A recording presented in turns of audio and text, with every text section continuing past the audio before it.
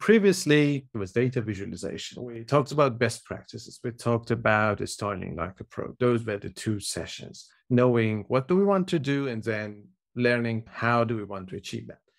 Today, it's the first part of data blending, the foundations of data blending. And we're back to data modeling again. We're going to work with data. We're going to shape data, reshape data, process data, and we'll see how it works out. Data modeling, data blending, part one. Data blending helps us merge data from multiple data sources into a single one. Merge data from multiple data sources into a single one. Why?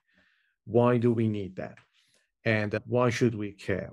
To understand why do we want to merge different data sources together, let's take a look at some use cases first trying to figure out what do we want to achieve with data blending? What are the different end results that we can achieve with data blending? So hopefully I can get you a little bit more excited about the subject before we dive in and see how to do that.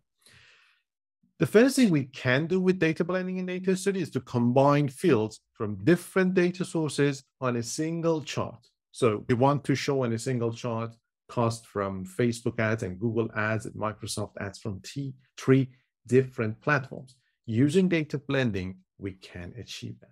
We might want to combine fields, the same fields, like cost, revenue, impression, traffic, from different accounts of the same marketing tool into a single chart. So we're working with 20 clients and we're running Google Ads for all of them, but we want to see roll up chart showing data, showing large data from all of those accounts. We can use data blending not just to bring data from different tools like Facebook, Microsoft, Google, but from different Google Analytics accounts, from different Google Ads accounts, from different Facebook accounts to see that data aggregated together if we want.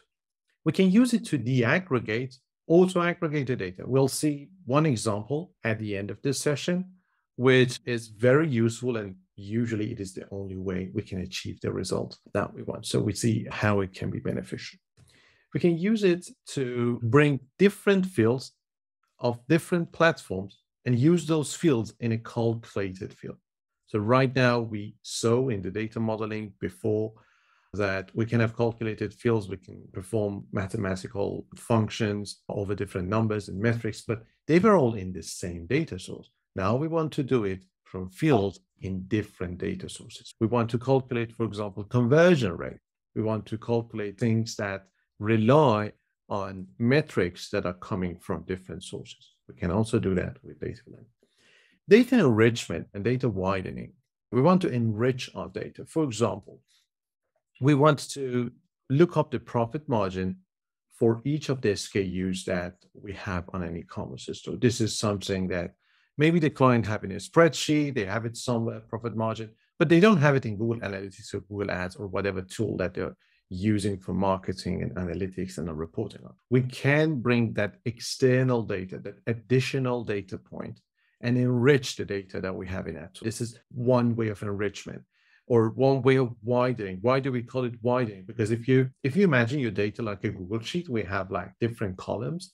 If we add more columns to this Google Sheet, it will be wider. So for the same data set, if for each row we can look up different values, different data points, and we can add them to the same data source, we're basically widening that data source. Another example would be looking up population for a city. Not all the web, some of the websites, like in a news website, broadcasting website, government websites that have a lot of traffic, they might want to actually look at metrics and KPIs like market share. How much traffic are we getting from a city compared to the actual population of that city? The population is not in the Google Analytics or whatever analytics tool that they use, but it is available in another third party data source.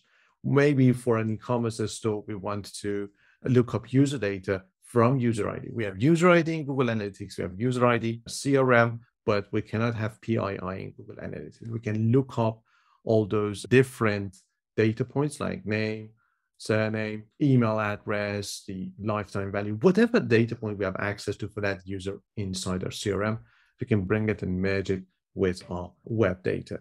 by joining on a key, by joining on the user, by looking up different values for that user ID. Again, widening the data, bringing in new fields in that.